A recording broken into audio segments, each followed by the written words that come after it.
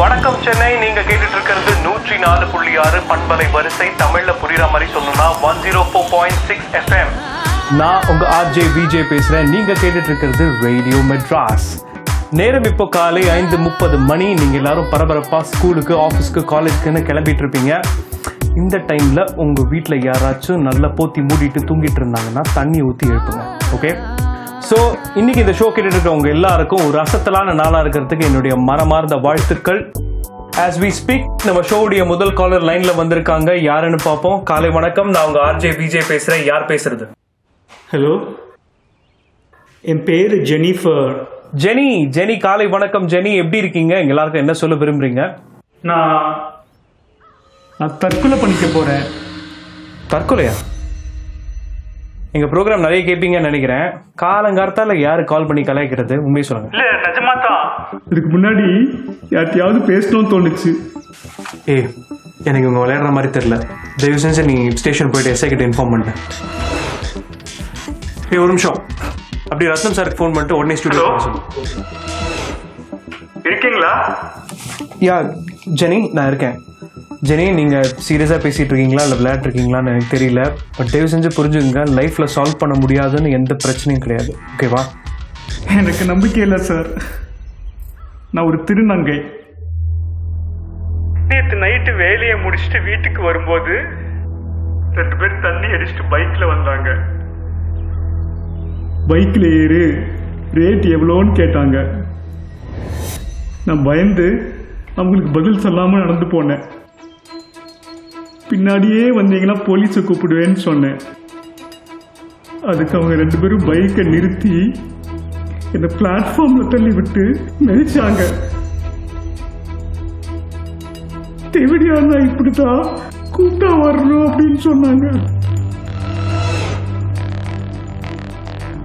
பின்னாடி வந்த போலீஸ்கார பார்த்ததும் எஸ்கேப் ஆயிட்டாங்க. சரி அங்க வந்து போலீஸ் கிட்ட கம்ப்ளைண்ட் கொடுத்தீங்களா? அங்க வந்த போலீஸ் கம்ப்ளைண்ட் கொடுக்க ஸ்டேஷனுக்கு வா. கார்ல ஏறுன்னு சொன்னாரு. ஆனா என்ன ஸ்டேஷனுக்கு கூட்டிட்டு போகாம வேற எங்கேயோ கூட்டிட்டு போனாரு. அங்க ஒரு ரூமுக்குள்ளே போட்டு அடைச்சு கேவலமாக நடந்தது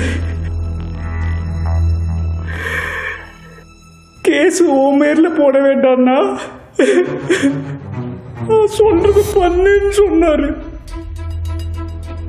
அங்கிருந்து கிளம்பும் போது அந்த இன்ஸ்பெக்டர் துப்பாக்கிய அவருக்கு தெரியாம எடுத்துட்டு வந்துட்டேன் எனக்கு நடந்ததை யாருக்கிட்டையும் சொல்லி அழவும் முடியல.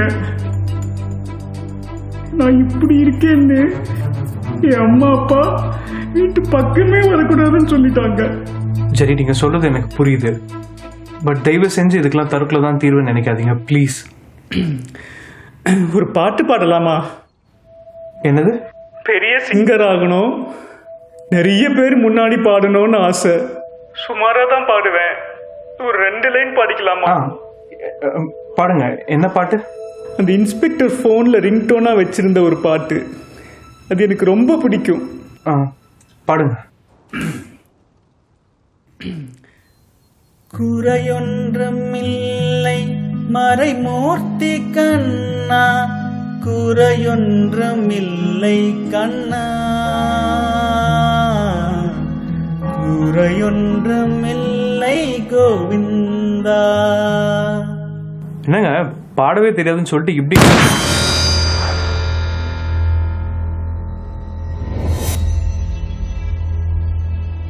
ஜெனி? ஜெனி? ஜெனி இருக்கீங்களா? ஜெனி இருக்கீங்களா?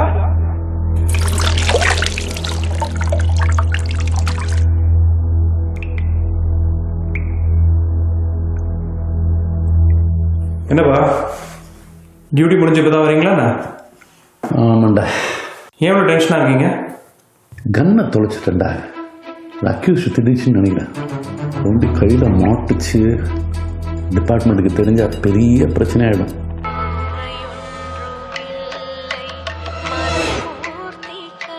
ஹலோ. என்னையாச்சு?